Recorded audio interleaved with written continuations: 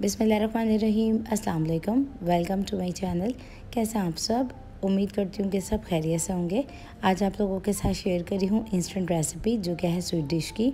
बहुत ही कम इंग्रेडिएंट के साथ, सिंपल, इजी मेथड के साथ हम इस रेसिपी को बनाएँगे, जिसे आप बहुत ही कम वक्त में बना सकते हैं। तो अगर ये रेसिपी आप लोगों को अच्छी लगे तो इसको लाइक, शेयर करना मत भूलिएगा।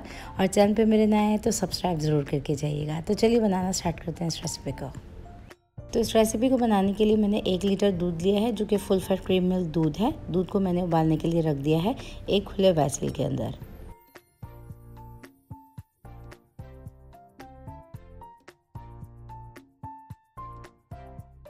तो दूध को बॉयल करने के लिए रख दिया है मैंने और पहले तो दूध को हमने बॉयल करना है सिंपली और फिर हमने इसको हाई फ्लेम पे रिड्यूस करना है। दूध मैंने एक लीटर लिया है, हमने इसको इतना गाढ़ा करना है कि ये तकरीबन आधा लीटर से भी कम रह जाए।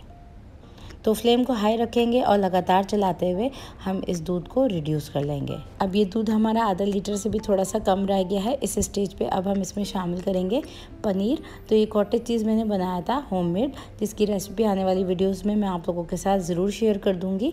और इसको मैंने हाथों से चूरा कर लिया है। देखें, क्रम सा बना लिया है।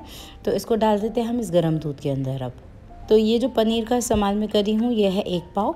और ये मैंने होममेड बनाया था, दो इंग्रेडिएंट के साथ सिंपल इजी मेथड के साथ, जो कि आप घर में बना के महफूज भी कर सकते हैं। तो वीडियो बहुत ज़्यादा लंबी ना हो जाए, इसलिए मैंने इस रेसिपी के साथ इसको इंक्लूड नहीं किया है। तो ये आने वाली रेसिपीज़ में इंशाल्लाह मैं आप लोगों के साथ ज़रूर शेयर करूँगी। तो यहाँ पर हम इसको अच्छी तरीके से मिक्स कर लेंगे। और फ्लेम को अभी मैंने हल्का रखा है। हल्की फ्लेम पे हम इसको मिक्स कर लेंगे पहले। अब इन दोनों चीज़ों को अच्छी तरीके से मिक्स कर लिया है। अब इसमें जाएगा इलायची पाउडर जो कि मैंने डाला है हाफ़ टी स्पून इसको डाल के अच्छी तरीके से मिक्स कर लेंगे हम। और इसमें आपको दिख रहा है कि अभी काफ़ी बड़े बड़े ग्रैन्यूल्स हैं तो इसको हम हैंड मैशर की मदद से मैश कर लेंगे, ताकि इसमें थोड़ा बारीक दाना बन सके। अब इन दोनों चीज़ों को हल्का सा मैश कर लिया है। और इस स्टेज पे अब हम इसमें शामिल कर देंगे चीनी। तो मैं यहाँ पे आधा कप चीनी का इस्तेमाल कर रही हूँ। चीनी आप कम या ज़्यादा टेस्ट के अकॉर्डिंग कर सकते हैं। तो ये डाल देते हैं इसके अंदर। तो ये चीनी मैंने डाल दी है, इसको डाल के मिक्सर लेंगे अच्छी तरीके से और चीनी डालने के बाद आपको लगेगा कि इसमें थोड़ा सा पानी रिलीज़ होने लगा है थोड़ा सा लिक्विड टेक्चर हो रहा है इसका।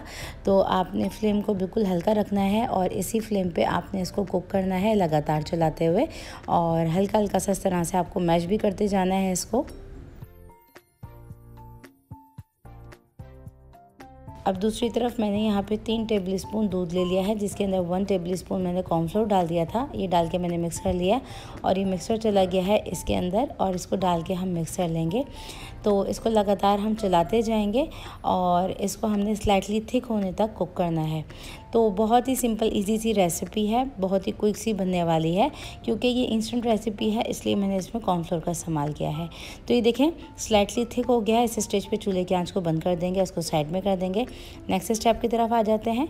अब मैंने यहाँ पे सेवन इंच का मोल्ड ले लिया है, जिसको हम ग्रीस करेंगे बटर या फिर घी के साथ। तो मैं यहाँ पे घी का इस्तेमाल कर रही हूँ।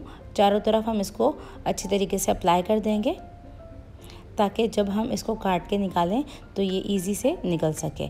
तो इस तैयार किए हुए मिक्सर को डाल देंगे हम इसके अंदर। अब इसको डाल के इवनली स्प्रेड आउट कर देंगे। और आप चाहें तो इसके अंदर पिस्से लगा सकते हैं, बादाम लगा सकते हैं, जो आपकी मर्ज़ी हो, आप इसके अंदर लगा सकते हैं और इसको डेकोरेट कर सकते हैं। तो यहाँ पे मैंने इसको इवनली स्प्रेड आउट कर दिया है। अब हम इसके ऊपर डालेंगे थोड़े से कटे हुए पिस्ते और इसको हम रख देंगे थोड़ा सेट होने के लिए। तो क्योंकि ये एक इंस्टेंट रेसिपी है, पहले तो हम इसको रूम टेम्परेचर पर ठंडा कर लेंगे, फिर मैं इसको रखूँगी आधे घंटे के लिए फ्रिज के अंदर। अब तकरीबन एक घंटा गुजर चुका है तो मैंने इसको क्विक सेट करने के लिए फ्रिज में रख दिया था आधे घंटे के लिए ताकि ये सेट हो सके। तो इसको अब हम कर लेते हैं कट और बहुत ही सिंपल इजी सी रेसिपी है। कुछ ये है कलाकंद स्टाइल में, लेकिन ये कलाकंद की रेसिपी नहीं है। तो ज़रूर ट्राई कीजिए मेरी इस रेसिपी को अगर आप चाहते हैं कुछ इंस्टेंट सा क्विक सा बनाना तो मेरी आप इस रेसिपी को ज़रूर ट्राई कीजिएगा। इन बहुत ही मज़ेदार बनेगी, बहुत ही कम इन्ग्रीडियंट्स के साथ। तो ये थी मेरी रेसिपी आज की स्वीट डिश की। तो ट्राई ज़रूर कीजिएगा इस रेसिपी को और इसका फीडबैक मुझे ज़रूर दीजिएगा। रेसिपी आप लोगों से कैसी बनी रेसिपी को वीडियो को लाइक शेयर ज़रूर कीजिएगा। और चैनल पर मेरे नए हैं तो सब्सक्राइब ज़रूर करके जाइएगा और कर दीजिएगा एक कॉमेंट और अगर आप कोई रिक्वेस्ट करना चाहते हैं रेसिपी के लिए तो आप मुझसे रिक्वेस्ट कर सकते हैं कॉमेंट सेक्शन में। तो फिर मुलाकात होती है नेक्स्ट रेसिपी वीडियो में जब तक के लिए टेक केयर अल्लाह हाफिज़।